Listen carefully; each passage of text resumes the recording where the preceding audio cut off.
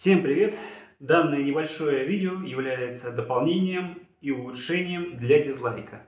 Где-то вот здесь вы можете увидеть ссылку на дизлайк и посмотреть, как его собирать, как из него стрелять и тому подобное. Как вы уже заметили, а, на данном экземпляре стоит оригинальное дерево от ружья ИЖ-12. В старой версии установка деревянной фурнитуры не была предусмотрена. Была возможность установить только пластиковое цевье и рукоять, рукоять приклад. В данной же версии удалось установить приклад без доработок и цевье с обработкой дремелем и напильником с пилой. Э, что еще можно отметить по отличиям от изначальной версии? Э, в оригинальной изначальной версии есть предохранитель. В данной версии для него места не нашлось, так как э, под деревом не так уж много места для размещения этого механизма. Работа у ОСМ точно такая же, как и в изначальном варианте, только детали внутри были переработаны, и они с изначальной версией не взаимозаменяемы. Поэтому данная модель будет закачана отдельным архивом на страничку к дизлайку. Также данной версии был добавлен удлинитель ствола есть версия 10 и есть версия 15 сантиметров. Они также будут э, доступны обычному дизлайку и совместимы с обычным дизлайком. Достаточно будет просто удлинить алюминиевые внутренние стволы и приклеить удлинитель. Чтобы не повторяться, данное ружье мы не будем собирать с самого начала.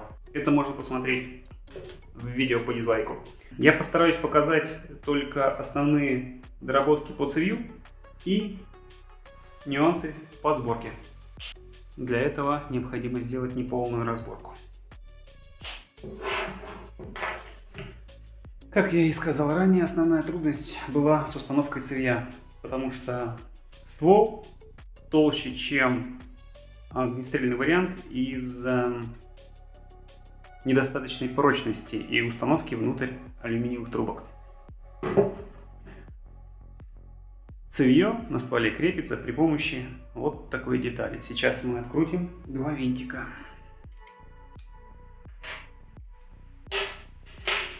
После этого цевье можно легко снять.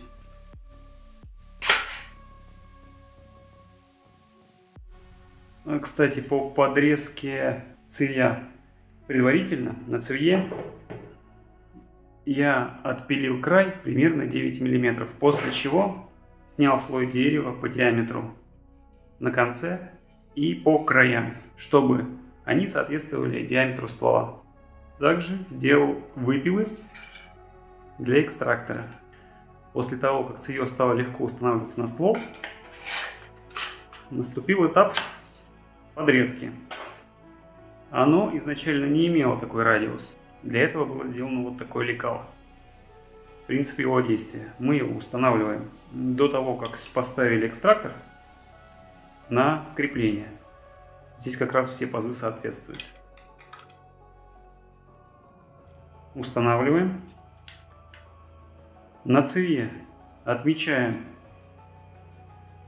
что нам нужно отпилить и почистить.